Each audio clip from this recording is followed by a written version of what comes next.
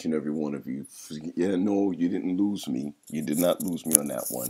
That was uh, the recording to our 23rd day of Bible Boot Camp with England at 12 a.m. I want you to know that God has really been blessing us. Each and every day, I have been getting up at 12 a.m. and 5 a.m. to uh, speak, first of all, not only to those on Eastern Standard Time, but also to those who are over in England. So today, I want to thank you for waking up this morning and spending time with us as we have entered into our 23rd day of Bible Boot Camp. Come on, everybody, wake up, stretch your spiritual muscles, and know that God is with us today. And so we're asking each one of you to remember why we're here. Each morning, we're waking up so that we can be reconnected to Him. And then there are many of us who have felt that they have been connected to Him, but we want to stay connected to Him. So I want to thank you for joining us on Bible Boot Camp. That's right, 23 days. So I'm going to ask you a question. Is there anyone who's on right now who's been with us for the full 23 days? If that person is you, wherever you are, just let me know. Just just simply say I have been on 23 days. I really believe that it is a sacrifice and that is seriously a sacrifice. So as we move forward right now, I want to share with each one of you uh, the uh, the word. I want to also share with you a prayer and I would like to share with you uh, the opportunity to testify by living the life that God wants us to live. So, 23 days, we want to thank God for waking us up and starting us anew. So, let's bow our heads together as we enter into this worshipful experience with Him. Father, again, we come before you thanking you for life and for strength and for all that you have done. We're asking you in a special way now that your Holy Spirit will be with us and bless us. We're asking that uh, whatever we speak about today, whatever we talk about today, what we hear, whatever we learn about will be pleasing to you. So, right now, Lord, we're asking that you'll rest and abide with us this morning, strengthen us this morning. In Jesus' name, amen. And so, we want to thank you for joining us again. Remember, we have been waking up to uh, and setting our alarm, reporting for duty putting on the full armor of God each and every day. So as we reconnect to Him, let's stay connected to Him. This morning, I want to share a special song with you, and this song is called Heaven's Door. This is a song that uh, my mom gave me some months ago, and on a Friday night, she sent it to me. She said, I need you to hear this song. But then the next day, when I went to preach at, an, at, a, at a church, uh, this person who sang the song sang it at church, the very artist. And this artist uh, is named Dwight Anderson. An awesome, awesome song called Heaven's Door that he wrote, especially in the passing of his parents. And so, in this, let's listen to the song, let's marinate on the song, and let's think about the very fact that one day we want to be at heaven's door.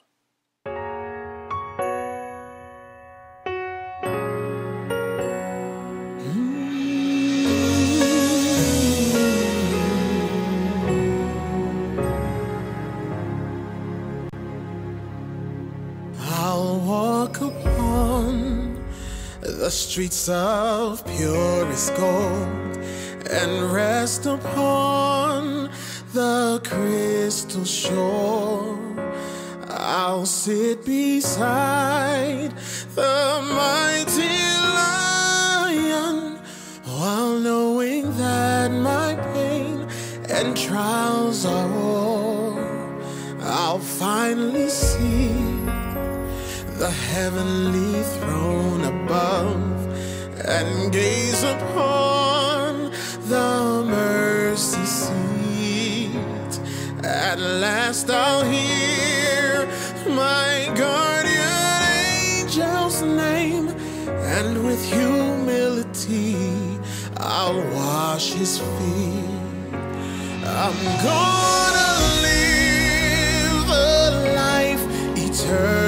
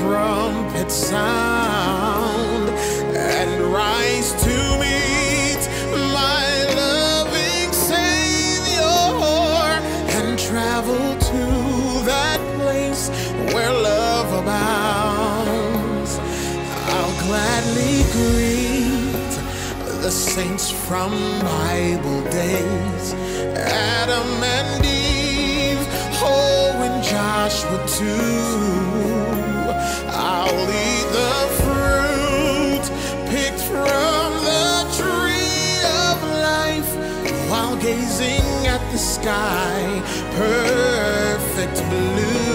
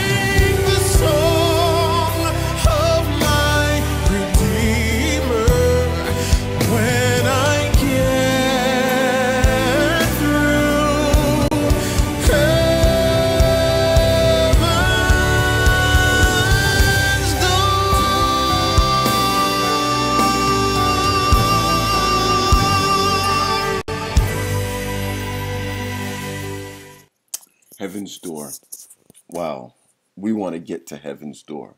What a beautiful song, would you say? This morning, we want to just also share with you that as we have go- been going through His Word, we've noticed that in uh, in uh, Acts, Romans, now in Leviticus, all these books, we've recognized that uh, what Paul has been doing in the Word have been he's been building the church in Jesus' name, building. And I want to share with you that we spend a lot of time in our churches building up churches, but not spreading the word, so to speak. And I want to share this with you uh, called uh, This is Discipleship. This is what discipleship should look like. And right after we go into this thought of discipleship, I want to go into this word with you on our 23rd day. This word that brings us to the 23rd Psalm. And so let's look at this. What is discipleship all about? And as we look at it, let's think about exactly what God wants us to do to spread the word because heaven's door is very close.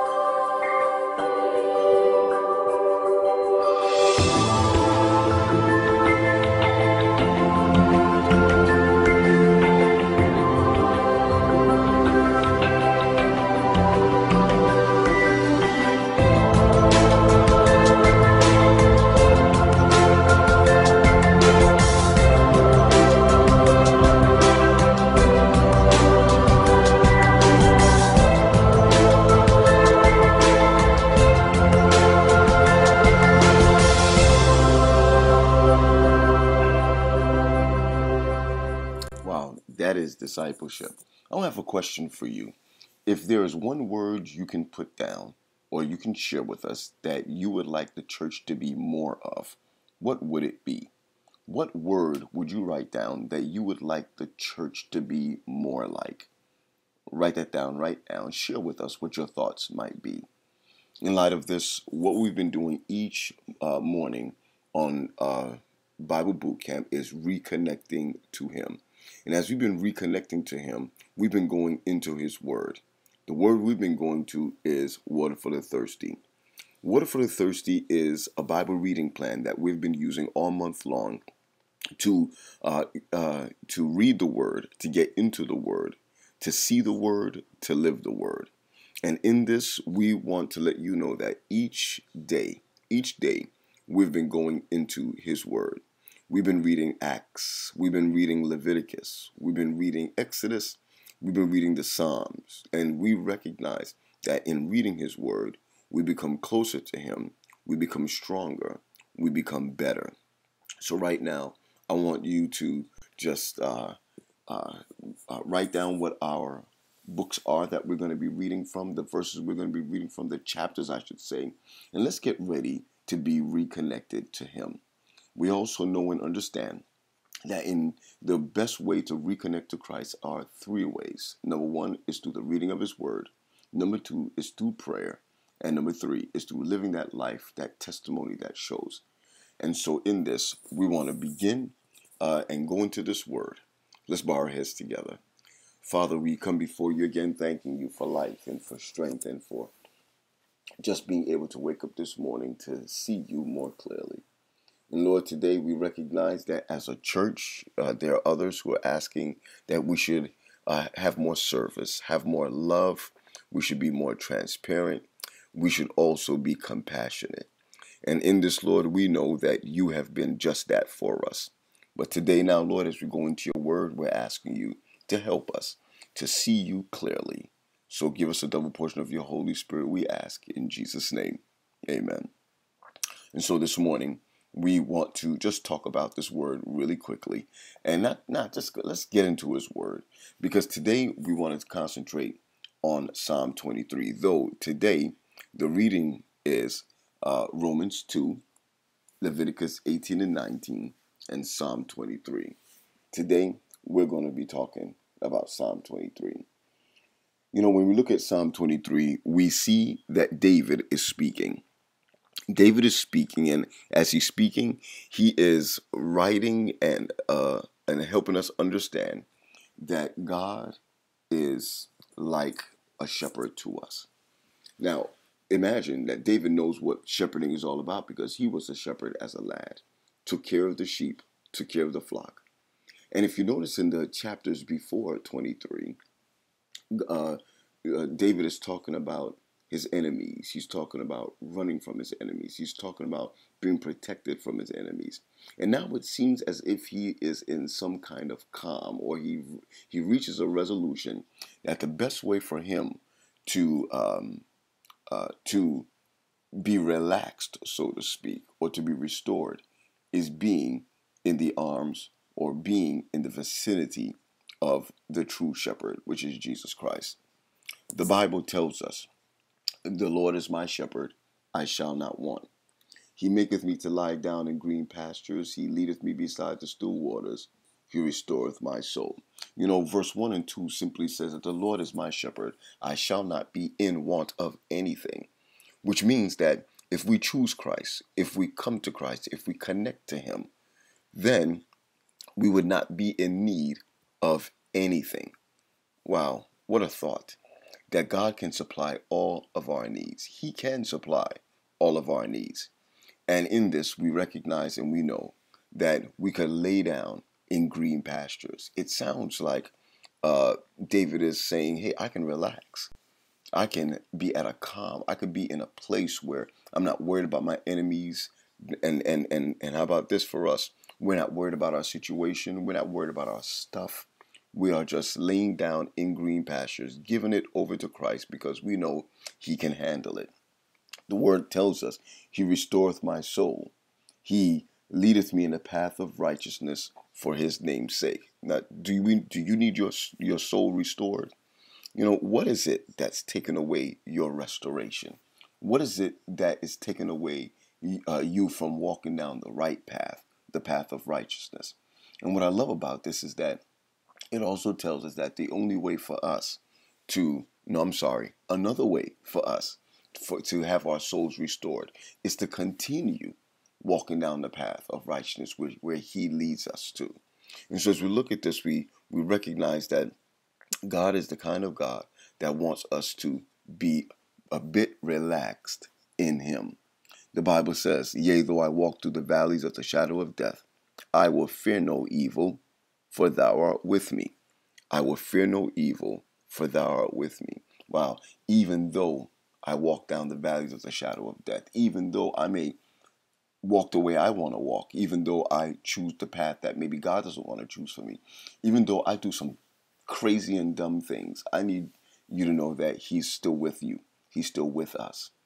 Yea, though I walk through the valley of the shadow of death, I will fear no evil.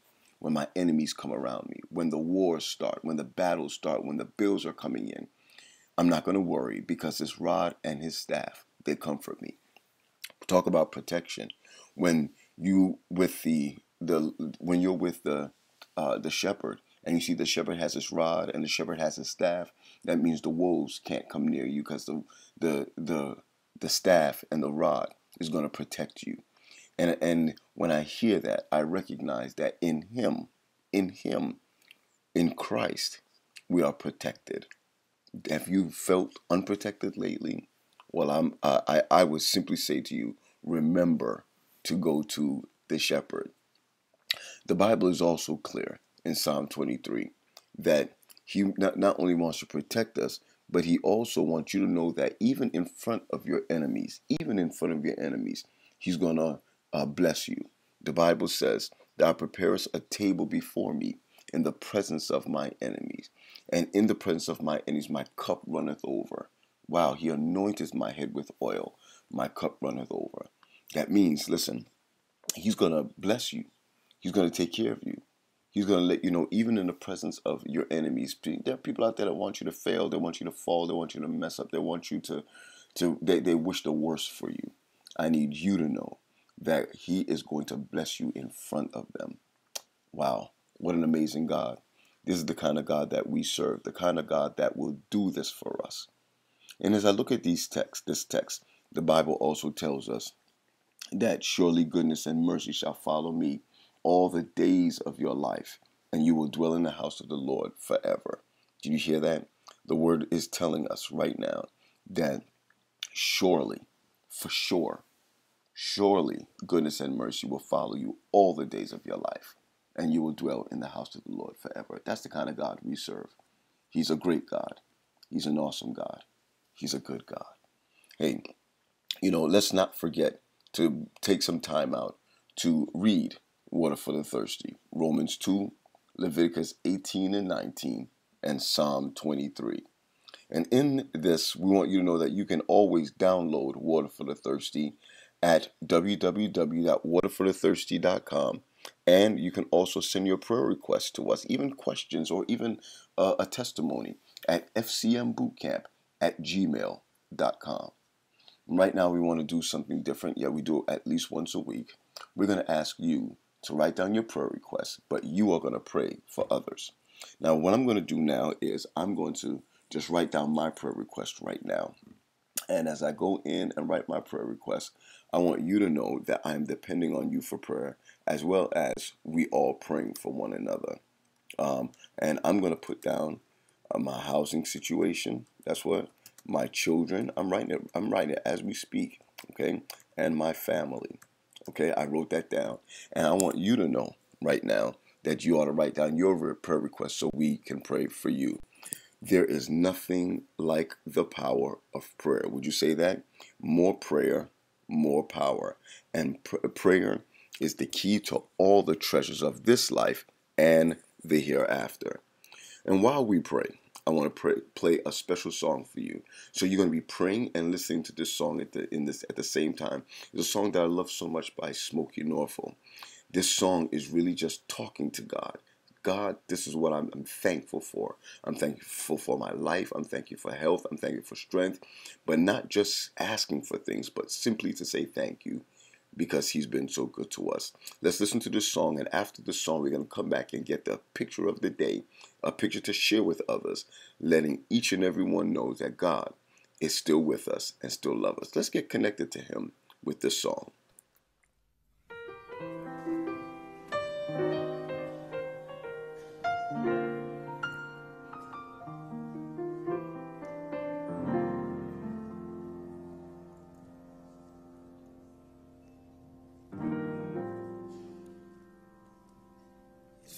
So good to make it this far.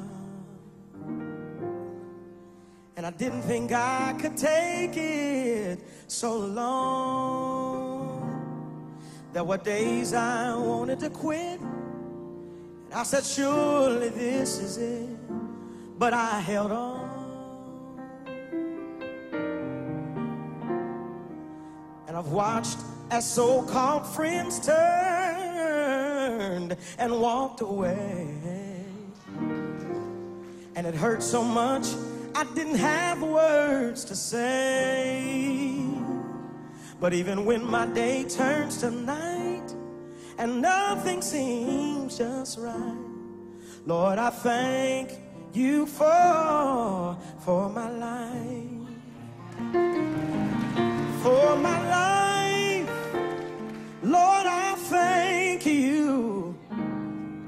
for every victory in you I've seen, and all the moments I know, Lord, it was you who kept me. So I thank you for for my life. And I've watched you take my family from there to here. And when times were a little rough, God, I know you were near. Thank you, Jesus. And the moments I thought I'd fail, I was reminded of your nails. So I held on.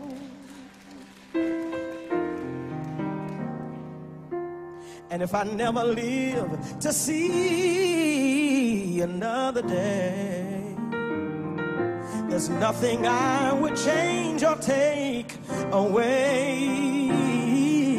I've had so many ups that they far outweigh my downs. Lord, I thank you for my life,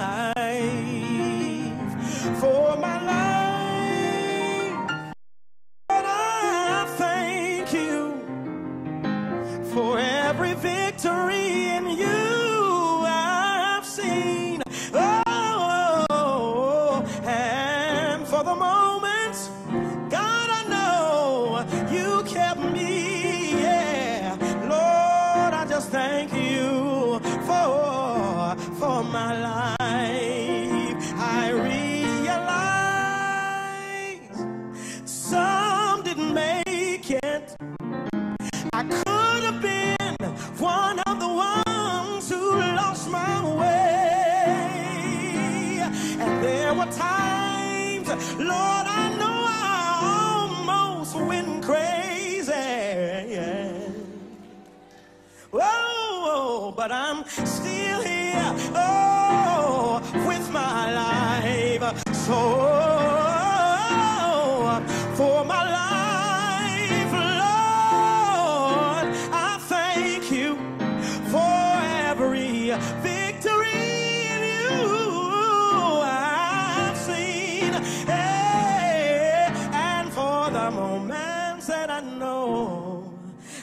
You kept me. Yes, Lord, it was you who kept me. So I thank you. Thank you, Jesus, for, for my life. It may not be all that I'd hoped for, and every dream has not yet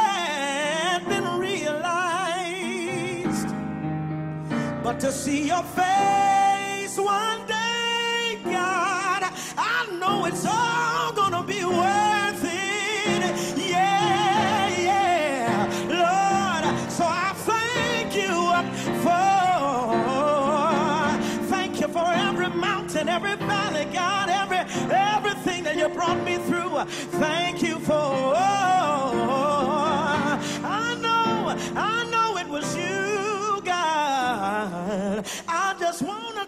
Time to say thank you, Jesus, for my life.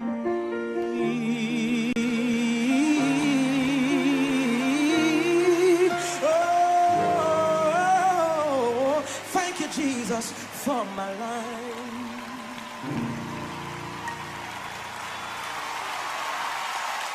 Thank you, Jesus, for my life. What an awesome song, praying and hoping that God will do for us. So, Father, thank you for giving us the opportunity to pray to you for all of these prayers. In Jesus' name, amen. Thank you for our lives. And so I want to leave the uh, I want to leave the word with you today, or the pick for you today, which simply says, "In happy times, praise God. In difficult times, seek God. In quiet times, worship God. In painful times, trust God. In everything, thank God." What an awesome word this morning. In happy times, praise God. In difficult times, seek God. In quiet times, worship God. In painful times, trust God. In everything, thank God. So we want to thank God for all that He has done. And again, thank you for spending time with us on our 23rd day of Bible Boot Camp. We have five more days left, and we're asking you to uh, just simply tell a friend, tell someone else about this, but more than that, tell God thank you. Again, let's reconnect to Him. Be blessed today.